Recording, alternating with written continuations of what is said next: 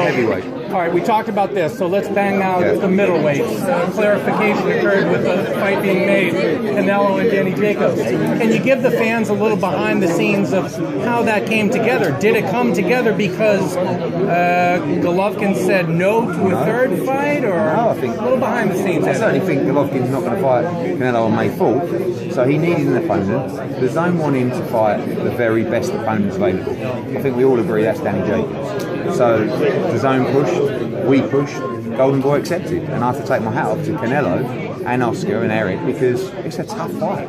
This is a this is a 50-50 fight in my opinion, and you know he's going into that fight.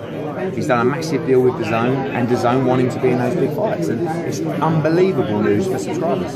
Isn't it nice for Oscar to be able to say pay per view is dead when there's an actual pay per view Yes, exactly. caliber level? And there'll be a lot more coming up over the next couple of weeks because that's really the key for DAZN to work. Because it's one thing saying you don't have to pay pay per view, but if you don't have the pay per view fight, it doesn't really mean a lot, does it? So Canelo Fielding was nice to be free, and it would have been pay per view on another network, but it's a 300,000 pay per view fight.